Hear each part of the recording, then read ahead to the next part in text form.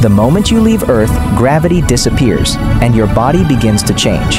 Without gravity, your organs shift.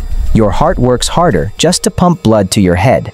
Fluids rush upward, giving astronauts puffy faces and stuffy noses. Even your eyes swell. Vision blurs as pressure builds inside your skull. Without resistance, your muscles begin to waste away.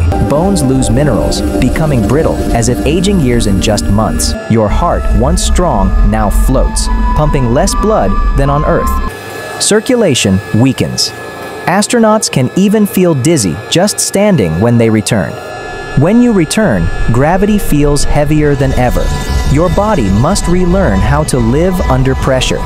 With time and training, your body adapts, proof that the human form is built to endure.